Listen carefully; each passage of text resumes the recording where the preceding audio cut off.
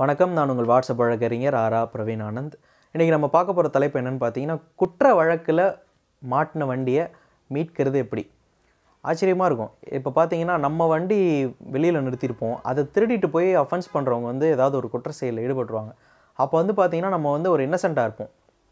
அந்த நேரத்தில் கோர்ட்டுக்கு போயிட்டு பிரிவு நானூற்றி ஐம்பத்தொன்று நானூற்றி ஐம்பத்தி ரெண்டு கிரிமினல் ப்ரொசீஜர் கோடு குற்றவியல் நடைமுறை சட்டத்தின் கீழே ஒரு மனு தாக்கல் பண்ணி இந்த மாதிரி சொல்லணும். என்னுடைய இருசக்கர வாகனமோ அல்லது நான்கு சக்கர வாகனமோ நான் வச்சுருந்தேன். அதை வந்து இந்த நாளில் திருடிட்டு போயிட்டாங்க. திருடிட்டு போயிட்டு வந்து இந்த குற்றவாளிகள் வந்து இந்த குற்ற சம்மந்தம் பண் செஞ்சுட்டாங்க. இதற்கும் எனக்கும் எந்த விதமான சம்மந்தமும் கிடையாது. அதனால் இந்த குற்ற வழக்கு நடந்து முடிகிற வரைக்கும் இந்த வண்டியை என்கிட்ட கொடுங்க. ரெண்டாவது குற்ற வழக்கின் முடிவிலும் இது போன்ற என்னுடைய வண்டி தான் இதுக்கு நான் சம்மந்தப்படலன்ட்டு நிரூபணம் ஆகும் அதனால் அது வரைக்கும் இந்த வண்டி இங்கே நின்றுச்சுன்னா பாழாயிடும். அதில் இருக்க ஸ்பேர் பார்ட்ஸ் வந்து அங்கே நிறுத்தி வச்சிருக்க கனவானுங்களால் எடுத்துக்கொள்ளப்படும் என் வண்டி எனக்கு திருப்பி கொடுங்க அப்படின்னு நம்ம ஒரு மனு தாக்கல் செஞ்சு நம்ம வண்டியை திருப்பி பெறலாம். இது வந்து கிரிமினல் ப்ரொசீஜர் கோடு வந்து நமக்கு கொடுக்க ஒரு ஒரு நல்ல ஒரு செக்ஷன் இது.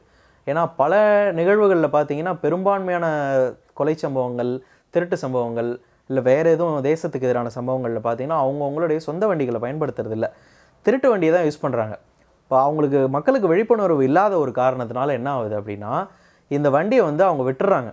அதாவது ஐயோ நம்ம போச்சு இதுக்கு முன்னாடி நான் கேட்டால் பிரச்சனை. அது இல்லாமல் காவல்துறையினர் ஒரு சில தவறான ஆட்கள் வந்து என்ன பண்ணுறாங்க நீ தான் வண்டியை கொடுத்தா அப்படின்ட்டு அவங்க மேலேயும் சார்ஜஸை போட்டுறாங்க. அவங்க பார்த்தீங்கன்னா என்ன சென்ட்டாக தான் இருப்பாங்க. அப்படிப்பட்ட சூழ்நிலைகளில் வந்து அவங்க வண்டியும் போயிட்டு அவங்களுக்கும் கப்பம் கட்டி தேவையில்லாத எதிர் வழக்குகளை வந்து சந்திக்க வேண்டிய நிகழ்மை நடந்து கொண்டு இருக்கிறது அதனால் பெரும்பான்மையாக விழிப்புணர்வோடு நீங்கள் செயல்பட்டீங்க அப்படின்னா உங்களுடைய சொத்து. அதாவது இது வந்து நான் வாகனங்கள்னு சொல்கிறேன் செக்ஷனில் என்ன சொல்லுது அப்படின்னா ரிட்டர்ன் ஆஃப் ப்ராப்பர்ட்டின்னு தான் சொல்லியிருக்கு. அதாவது எந்த விதமான சொத்துமே நீங்கள் ஒரு இன்னசென்ட்டாக இருந்துட்டீங்க அப்படின்னா அதை நீங்கள் திரும்ப பெற்றுக்கலாம். இந்த செக்ஷனில் பார்த்தீங்கன்னா நாட் ஒன்லி இன்னசென்ட் குற்றம் செய்த நபரே குற்றம் செய் இப்போது உதாரணத்துக்கு வந்து ஒருத்தர் போய் வண்டியில் மோதிடுறாரு. அப்போ வந்து பார்த்தீங்கன்னா அவரோட வண்டி தான் இன்வால்வ் ஆகிருக்கு அஃபென்ஸில் இன்வால்வ் ஆகிருக்கு ஆனால் ட்ரையலில் சம் டெசிஷன்லாம் மாற வாய்ப்பு இருக்குது ஃபைனலாக அப்போ வந்து பார்த்தீங்கன்னா இந்த செக்ஷன் ஃபோர் ஃபிஃப்டி ஒனில் கேட்கலாம். எப்படின்னா இந்த மாதிரி இந்த வழக்கு நடந்து முடிகிறதுக்கு இன்னும் பத் எத்தனை ஆண்டுகள் ஆகும்? அது வரைக்கும் வண்டி நின்றுருந்தா வேஸ்ட் ஆகும். இந்த வழக்கு முடிஞ்சு என் மேலே குற்றம் இருந்துச்சுன்னா திருப்பி வண்டியை கொண்டாந்து ஒப்படைக்கிறேன் அப்படின்ற ஒரு உறுதிமொழியை கொடுத்துட்டு கூட குற்றத்தில் ஈ நிஜமாகவே ஈடுபட்டிருந்த வண்டியோட ஓனரே அந்த வண்டியை திருப்பி எடுத்துகிட்டு வரலாம். அதுக்கும் இந்த சட்டம் இந்த பிரிவு வந்து உட்பிரிவு வந்து உங்களுக்கு வழிவகை செய்கிறது.